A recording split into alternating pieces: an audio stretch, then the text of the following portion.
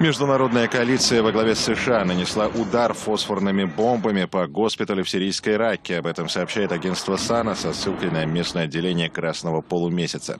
Причем террористов точно не было в этом госпитале. Снаряды попали в электрогенераторы, машины скорой помощи и внутренние помещения. Коалиция во главе США уже не раз применяла фосфорные бомбы при штурме Раки, который считается главным оплотом группировки ИГИЛ, запрещенной в России.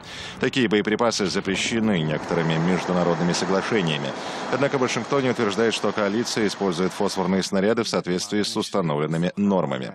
Правительство Сирии уже не раз требовало от Совета Безопасности ООН осудить бомбардировки ВВС США и их союзников, в результате которых гибнут мирные граждане.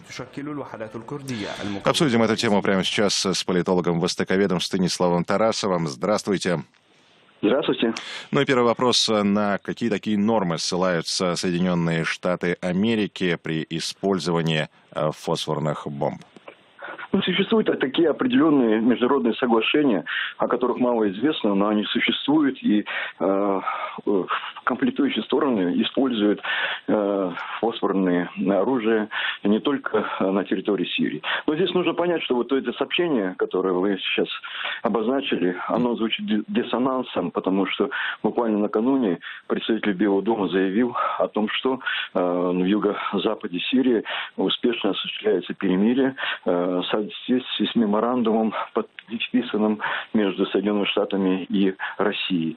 Э, здесь нужно понять, что э, Раку штурмуют, прежде всего, арабо-курдские формирования с поддержкой Соединенных Штатов Америки. Там действительно существует крупная группировка э, из радикалистов. И данная атака можно рассматривать только, данную атаку можно рассматривать только в трех случаях. Это первая техническая ошибка, потому что террористы прячутся за живых кварталами, прикрываются, используют людей как живой щит. Преднамеренные провокации, что я хотел бы это исключить. И, э, в общем-то, какими-то такими устрашающими действиями, направленными на дезориентацию противника. Я бы не делал из этого особой сенсации, но, к сожалению, гибель людей в войне, это было не только в Раке происходило, это, бы, это было и в Алеппо, это было и в Масуле. Это вызывает сожаление, что говорит о том плане, что уровень координации усилий сил международной коалиции недостаточен.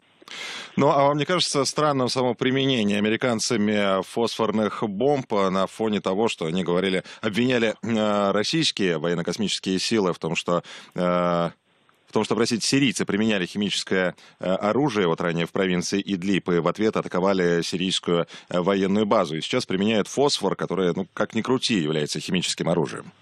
Вне всякого сомнения, американцы и участники западной международной коалиции э, в Сирии и в Ираке ведут себя бесцеремонно.